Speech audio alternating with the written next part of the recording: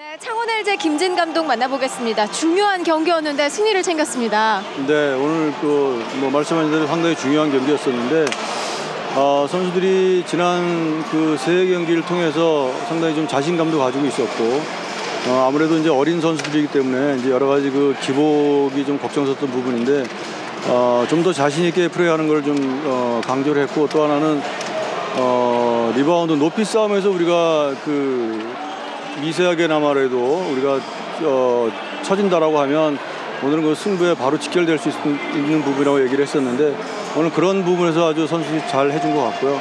어, 뭐 1쿼터 때 조금 좀 안 좋은 모습이 있었지만 어, 수비 변화를 주면서 어, 그 기승호 선수라든지 또 김영환 선수 이런 선수들이 나와서 또 유병훈 선수 상당히 좋은 모습을 보여줬던 게 어, 뭐 결과를 좋게 만들었던 게 아닌가 싶습니다.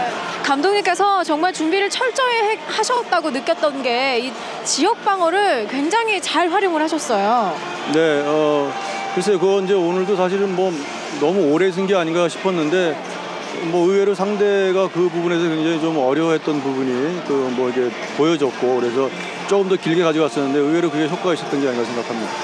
그 제퍼슨 선수 이야기를 하고 싶은데요. 제퍼슨 선수가 이제 참 안정을 찾고 또 기량도 훨씬 더 좋은 모습을 보여주고 있는 것 같은데요. 네, 역시 이제 어, 제퍼슨 선수하고 메시 선수는 이제 그 서로 그 장단점이 있는 선수이기 때문에 어, 뭐 우리가 좀그 득점이 득점력이 있는 선수이기 때문에 그쪽에서 오늘은 또 수비에서도 좋은 모습을 보여줬고 우리가 존을 쓰면서 더 제퍼슨 선수를 길게 가져갈 수 있었던 그런 원인이 아닌가 생각합니다.